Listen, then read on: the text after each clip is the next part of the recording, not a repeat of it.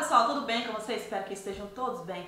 Gente, hoje nós vamos preparar um lanchinho recheado feito na sanduicheira que é tudo de bom para você substituir aquele pauzinho no café da manhã ou no café da tarde, servir da sua última refeição também na noite, sem problema nenhum. É super leve, prático de ser feito e fica muito saboroso, que é a melhor parte.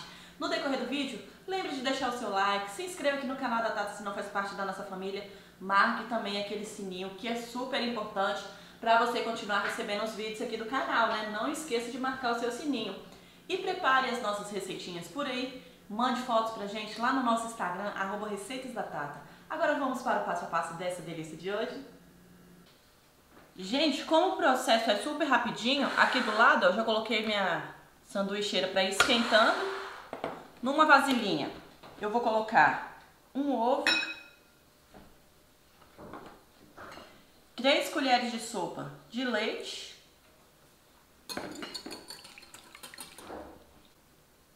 uma colher de sopa de manteiga derretida, pode ser óleo também,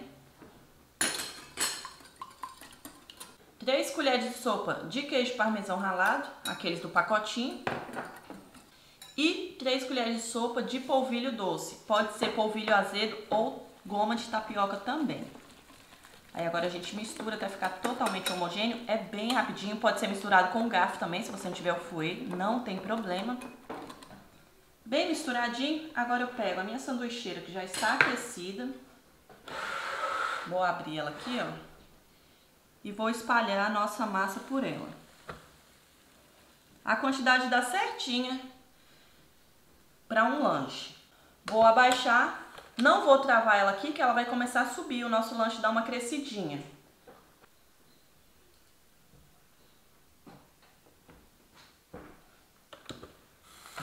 Uau! Olha só, gente. Aqui agora... Vou pegar a ajuda de um outro. Vou virar. Depois que eu virei, essa parte de baixo, como esquenta mais do que a parte de cima, ela já está no ponto. Agora aqui eu tenho duas fatias de mussarela, uma fatia de presunto, por cima eu vou colocar um pouquinho de orégano, se você não tiver não tem problema, e agora eu vou dobrar o meu lanche, que aí ele vai dourar dos dois lados e vai derreter o nosso recheio aqui agora, gente, não tem como ficar ruim isso aqui não, hein? Aí agora você pode travar para esperar dar uma douradinha. Deixa eu virar ela aqui para vocês. Então vamos ver se já tá douradinho, tudo derretido por aqui. Uau! Olha que coisa bonita, gente.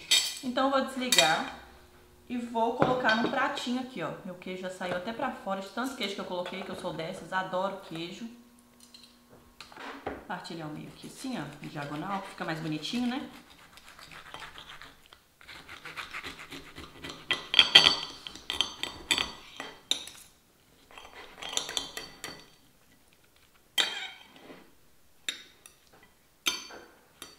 Vejam só aqui, gente. Olha que coisa linda. Ó, e se quiser mais recheio também, não tem problema. Pode colocar mais recheio também. E agora, qual é essa hora? Sempre a melhor hora, né? A hora de degustar um pedacinho e falar o sabor pra vocês.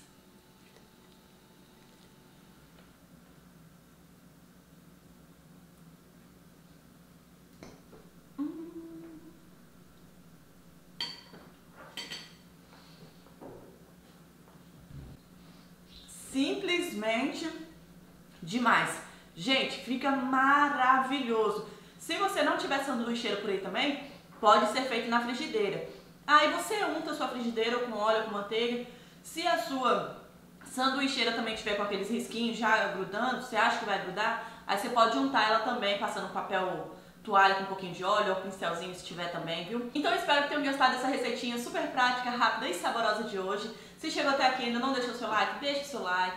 Se inscreva no canal da Tata, marque o sininho também para não deixar de receber as notificações de receitinhas maravilhosas igual a essa.